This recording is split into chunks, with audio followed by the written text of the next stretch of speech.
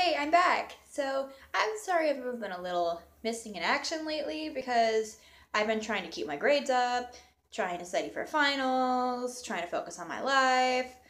It's just a whole mess of reasons why I have been gone. But I'm back with some final exam hacks I think you guys will enjoy. I, feel like Natalie's out there right now.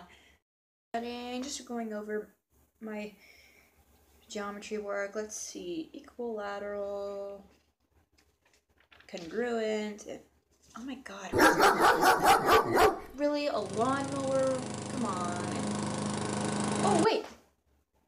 Just pop my earbuds in. And let's just play some white noise. It'll just calm me down. Right, exactly. Got my white noise playing. I'm highlighting all my terms. Let's see. Triangle.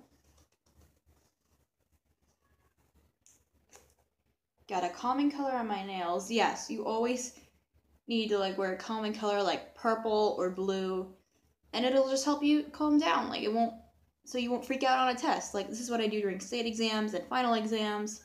Just wear something like a light blue. Don't wear something like a red because that color is associated with aggression. Just think with psychology. In psychology, like people, if you wear light blues or purples like lavender, like my nails, you, you don't freak out. So always do this during tests. Always drink coffee. You, this is something you really need. Let me know if you're a coffee lover or a tea lover. Like if you're a coffee lover, comment if you're a tea lover down below. I always drink coffee because it's a hug in a cup. I actually have a t-shirt that says that that I bought while I was shopping with Bailey it keeps you awake during your test. It'll keep you up and running. Just always drink coffee. I love this coffee cup specifically because my two friends bought this for me for my birthday.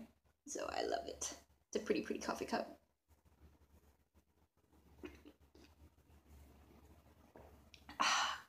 Oh, there you have it. There are some hacks for you. So you can so you can just breeze through your finals, always just study, always wear calming colors, and drink a lots and lots of coffee. And it'll help you pass those tests no problemo. And I will see you in the next video, which will probably be in a couple more weeks because finals. But bye for now.